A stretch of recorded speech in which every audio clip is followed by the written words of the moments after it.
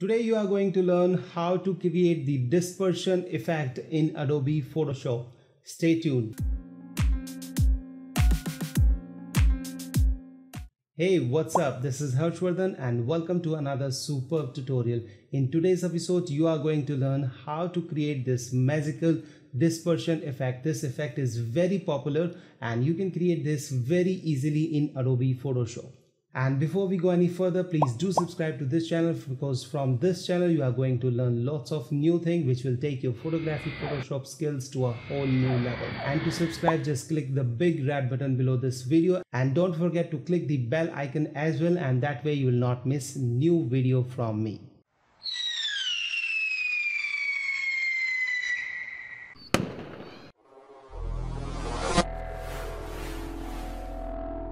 The first thing which we need to do is to extract the girl from the background. So for this purpose i'm going to use the pen tool which you can have the access by coming over here.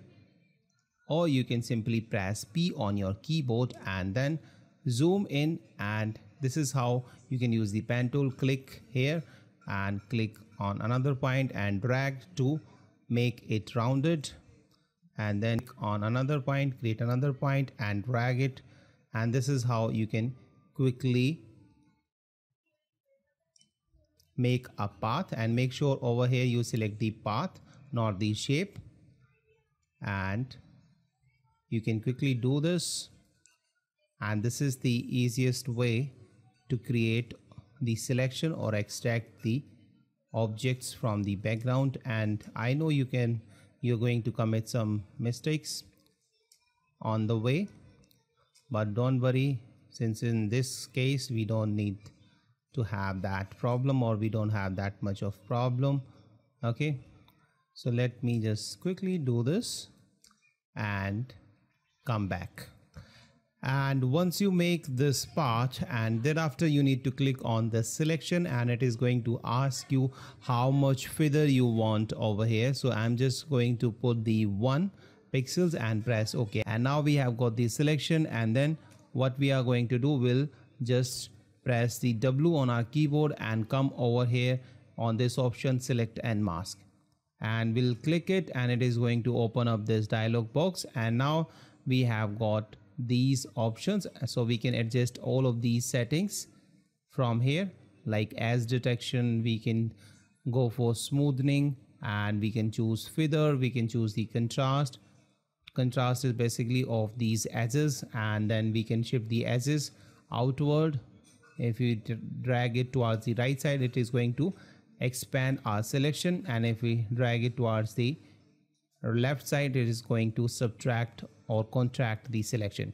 And once we are happy with the selection we'll make sure you check over here layer new layer with layer mask and thereafter just press ok. And now we have got this girl extracted from the background and now we are going to create the background for it. So this for this purpose we will use the gradient. So we'll click over here on this circle black and white and click on the gradient and we'll click on this gradient fill. And in the gradient editor we'll select this black to white gradient and we'll change this black color to something like gray. So we'll click on this color and it is going to open up the color picker option and we'll choose a color of something like this. So on one side this is dark. On one side it's very light. And we'll press ok. And we need to change the layer style to radial. And we'll check the reverse so that outside becomes darker and center becomes lighter. And then we can scale it up so that we can scale this center or this light. So we'll get this kind of a result and we'll press ok. All right and now we have got the girl which is over here. And here we need to fix this area. As you can see the hairs are only visible here. And over here we have lots of hair. So for this purpose again we can choose the pen tool. We can click over here and create a path of something like this. And let's make a selection and then go to the selection and choose either one radius and it is going to make a selection. And then come over here select the layer mask and go to the brush tool. Right click select the soft edge brush with zero hardness and opacity should be 100% flows should be 100% and over here it should be black color. And then we are going to paint over here. So what it is going to do it is going to basically remove this from here. All right and if you see some problem still then you can again right click and choose the hard as brush with 100% hardness. And then you can just manually remove certain part of the background to refine the selection.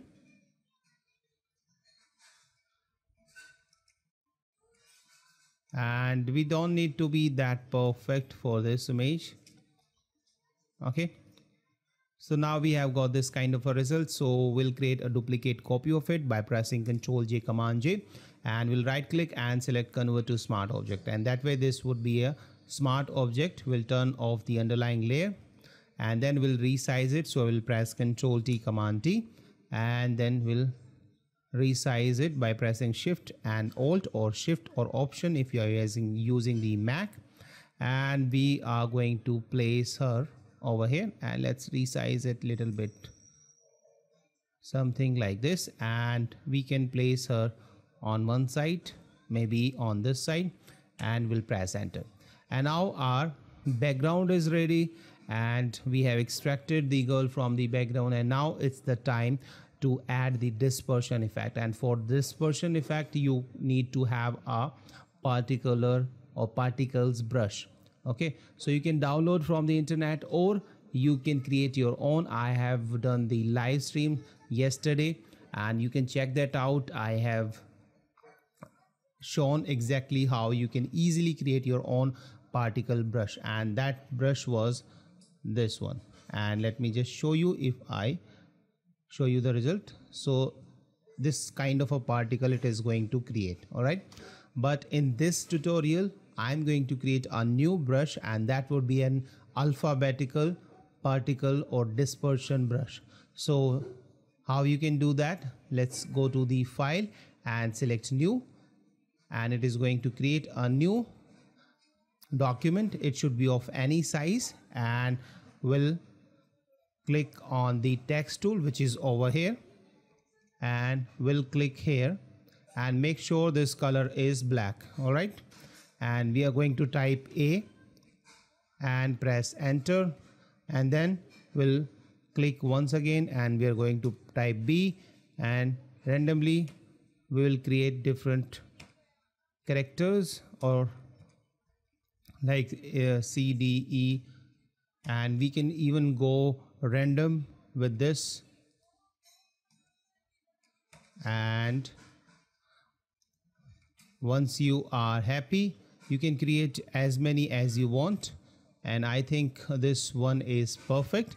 And then what we are going to do we can either rotate all of these. So we'll press ctrl T command T and we'll hover our mouse on one of the corner and we can rotate them like this. And then select another one click and give them a random rotation all right? So that they look good and select another one.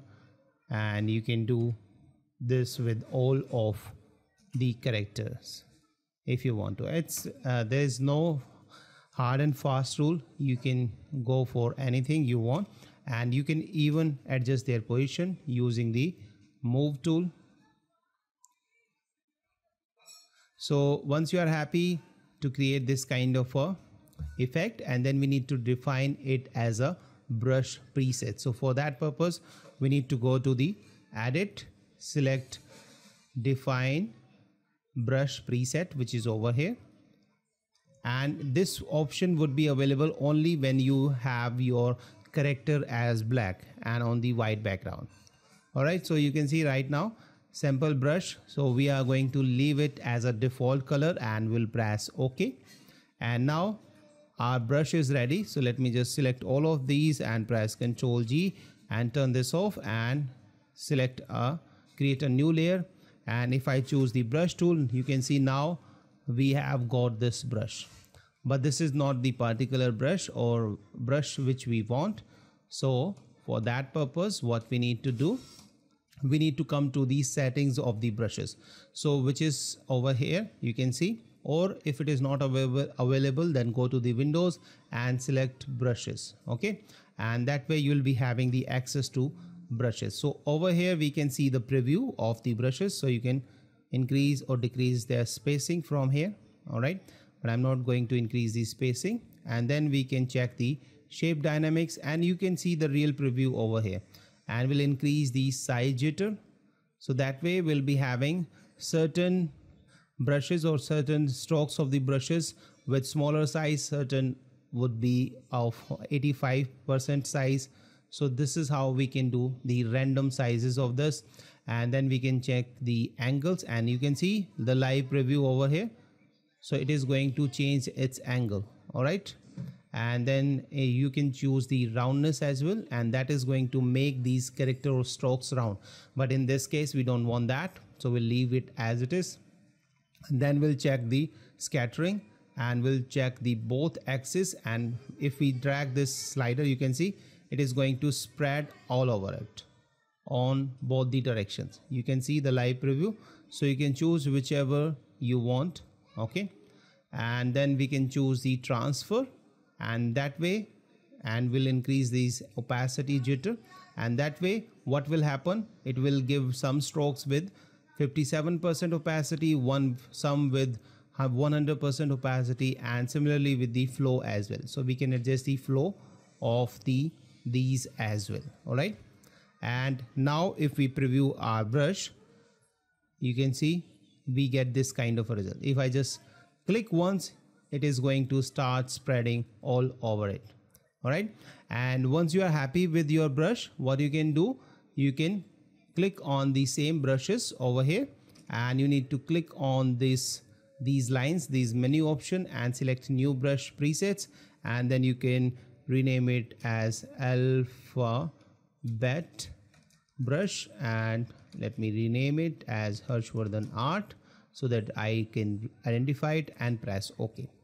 Alright and now our brush is ready. We no longer need it. So we'll just close it. We don't need it.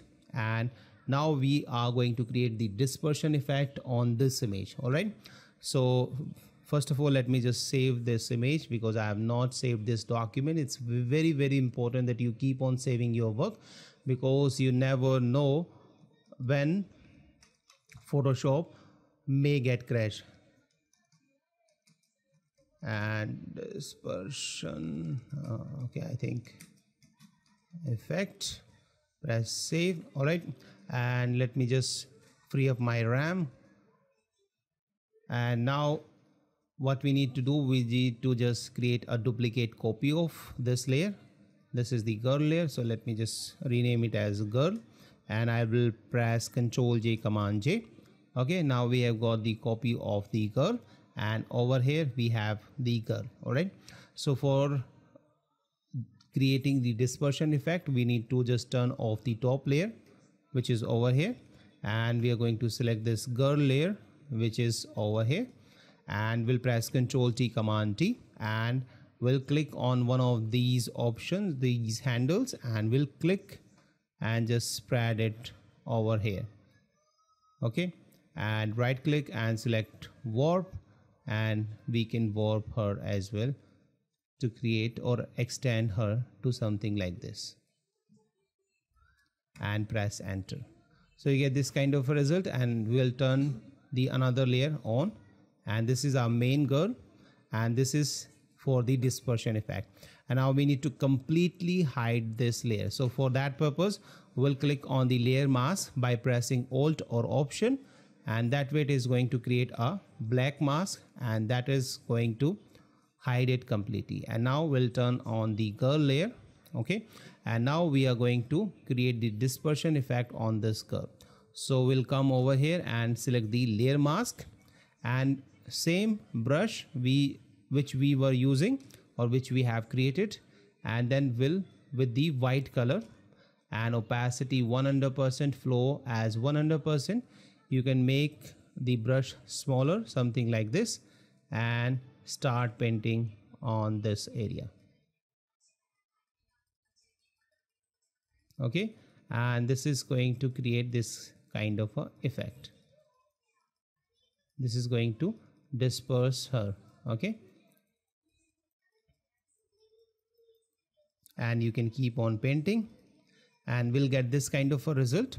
And now we need to create more of this. So for that purpose we'll come to the top and create a blank layer. I have already created one blank layer and then we'll press alt or option and take a sample of her skin from here and we'll paint little bit further okay? And you can random the size of the brush. So you can make certain size uh, certain strokes larger and you can then take the sample from other area all right? So you can have some variations to that. Something like this. And another color. You can try out or you can pick the color from the swatches. So it all depends on you what kind of a effect you want to have okay? And wherever you want this dispersion effect you can click on that area okay? And once it is done now we need to select this girl copy and we'll create a layer mask by clicking on this icon. And that is going to create a layer mask. And this time we'll right click and select the brush which is this soft as brush okay? And the opacity 100% flow as 100% and we'll zoom in and with the black color over here if it is not black just click on this arrow and it is going to turn to the black and now we need to remove the hard edges from her hand. So we need to just do this randomly so that it appears that she is dispersing into this effect or these alphabets okay? And basically you have to just remove that hard edges. And that would give us the dispersion effect. And you can lower down the opacity like 20% or 10% and you can randomly paint on other eh, parts of her body.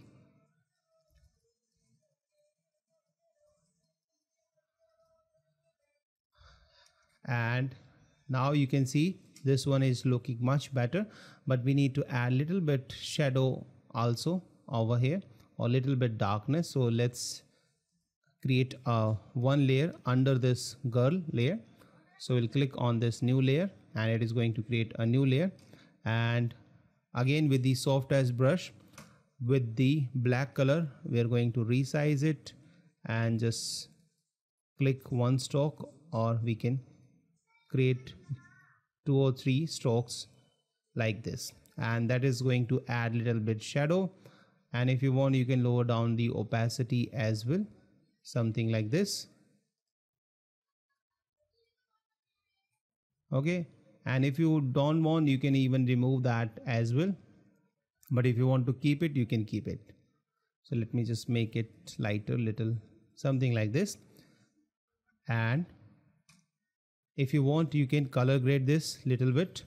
So for that purpose let me just see. This is the full screen. This is how it is going to look but let me make or color grade it little bit. So what I'll do I'll just group them all of these together.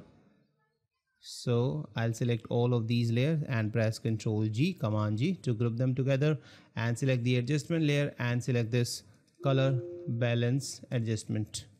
And I'm going to select on this clipping mask mask and that way it is going to affect only the group as you can see this downward arrow so now whatever I'll do it is going to affect the entire group. Okay? So now I can add cyan or add red. I can add the green or blue.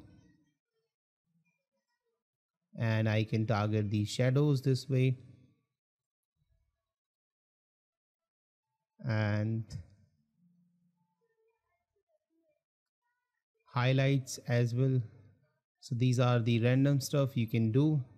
There is no hard and fast rule. All you have to do you just play with the you just need to play with these settings. And whichever result you are liking you can go for that. All right? And you can see by turning it on and off it has added a little bit of warmness to this image. And then you can see the result. This is our final result Thank you so much. I hope you enjoyed today's episode and if you did, please do let me know in the comment section below and please hit the like button and consider sharing this video with others. And if you have any question or doubt, you can leave that in the comment section as well. And if you want $439 premium courses absolutely free, just go to my website harshvardhanart.com and just sign up to my newsletter. Thank you so much. Bye bye. See you in the next episode.